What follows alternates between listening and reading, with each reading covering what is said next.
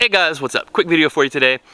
So today I'm out at a local park. I'm in Central Florida, uh, right outside of Tampa, and it's July, it's hot, it's our rainy season, and I am mushroom hunting.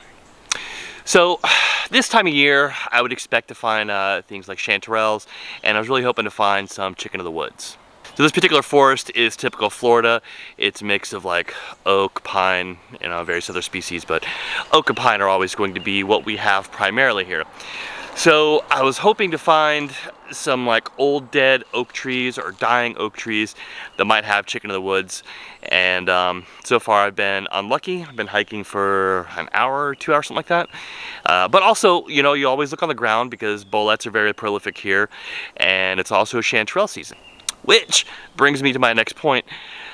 After like an hour or two of hiking and looking around, I finally found some. Well, I found a chanterelle. At least I think it's a chanterelle. Uh, we can't be certain that it's not a jack-o'-lantern until I get into it and open it or flip it over and check out to see if it has gills or ridges.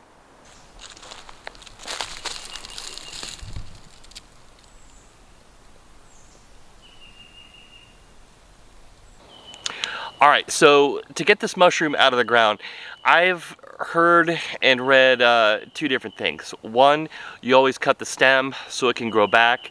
And then I've heard from other people that the top of the mushroom is, is like an extension of the actual plant or um, organism, what do you want to call it, that's it's under the ground. So you can just pluck it. I don't know which is right. I am by far uh, not, I'm not any kind of like mushroom expert. I just I know about that much, just enough to come out and find a few that I'm comfortable IDing.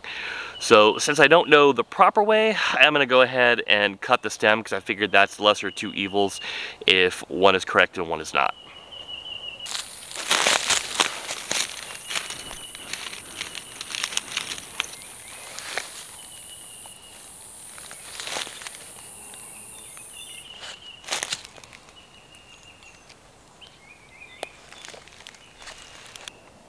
All right, success. So I am 99%, I'm 100% sure these are chanterelles actually. So you can tell if you look under the caps, just in case anybody's not familiar, uh, they have ridges, so these are kind of firm. They're not gills like you find on mushrooms, um, you know, that are soft, you know, and you can bend these. You see these, these stay in place. So it's got kind of like a white flesh, and you can't really mistake the orangish yellow cap there. So these are actually in great condition. You know, sometimes you find them and they're too old or they're too young, but these are perfect. Um, this is a this is a good find. Um, like I said, I was hoping to find a lot more today, but honestly, um, I'm happy with this just because I think it's kind of cool. So, and once again, I am by no means any type of mushroom expert. So if anybody watches this video and you are a mushroom expert, you want to throw me some tips, um, or if I'm wrong about something, you know, um, either way, leave a comment and let me know because I am all about learning. You will not hurt my feelings, I promise. So anyway, I'm gonna keep these and uh, probably eat them tonight for dinner. Um, I'm having steak tonight, so these will go phenomenal with that. So, cool. Well guys, that's gonna do it for me today. Spent a couple hours hiking around and uh, only found that one little clumping of chanterelles. So normally when I found them anyway, and what I see online is when you find one, there's always like gonna be like a whole bunch around. And so I'm wondering if it's the first of many to pop up or the last and some other forager beat me to it. So I looked all over the place and didn't find any more.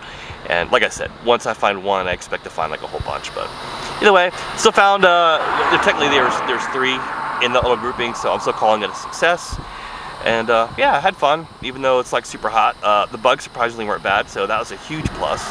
So anyway, thanks for watching, and I'll catch you guys next time.